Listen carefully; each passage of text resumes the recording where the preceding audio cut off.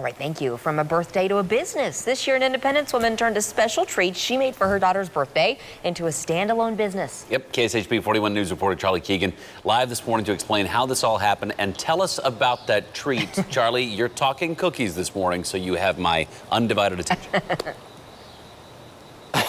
yeah, we're talking those French macaron, the kind of meringue sandwich cookies. I wish I had one for you, Taylor, but kind of already ate them all, so sorry about that. Bailey Noguez, though, she's selling them from the Mac Shack here in Uptown Independence. Just opened the standalone business about two months ago or so. I found out how she and many other entrepreneurs in the area right now are getting a helping hand. Strawberry lemonade. I asked Bailey Noguez what I thought would be the hardest question. Toasted marshmallow. What's her favorite flavor of macaron? It's definitely the best. She first made a macaron cookie for her daughter's birthday about three years ago. And they're all made with almond flour. Then obsessed over perfecting that recipe. About two years later, I kind of mastered it, and a friend of mine was like, you should try to sell these. Demand increased beyond what her home kitchen could handle. 871. And Noguez looked for a commercial space like this. What do you got cooking? This is the Ennovation Center. E to emphasize entrepreneurship and education. Dessert options. From a big kitchen to small offices, meeting rooms, and workspaces, the Ennovation Center is a business incubator in Independence. This device. Startups pay below market rate rent and get consultation on business planning and budgeting with the ultimate goal that one day they'll graduate to their own location. That's what we live for. That is that we try to have a party with them. Director Xander Winkle adds enthusiasm to the Ennovation Center.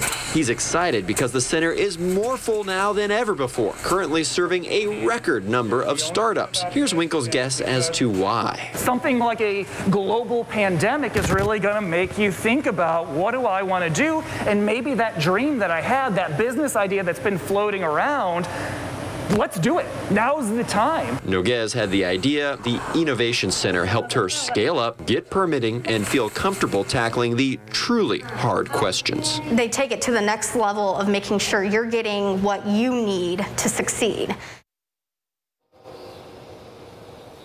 What you need to succeed is helping Bailey out here at the Mac Shack. The Ennovation Center is in the uh, Independent School District headquarters, and it's actually with the school, the uh, school district, the city here of Independence, and the Independence Economic Development Council. It's been around for 11 years, Lindsay and Taylor, and has a long history of success. Uh, Xander, who you heard from there, says in the last 11 years, businesses that have left the Ennovation Center have created more than $30 million in wow. salaries wow. for folks here around the Kansas City metropolitan area. That's phenomenal. It's, Anything that helps really small great. businesses get that foothold, that's amazing. So what did Bailey do before the pandemic, before the Mac Shack, before Macaron? Right, yes. Uh, she was a server, uh, bartender. She went from serving up cocktails to serving up cookies here. Mm -hmm. And she's a real creative person. She wants to host uh, parties here at the Mac Shack where you can decorate your own cookie with different holiday themes and whatnot. Oh. She also sells teas, lemonades, things like that to go along with your cookie. We well, love the name. Well, I was going to say, we, we, we are in love with the name, the Mac Shack. It's fantastic, so we wish her all the best. And clearly, with the track record of what's going on behind her there, she's got uh, a lot of hope for that moving forward. Charlie, thank you very much. Thanks, Charlie.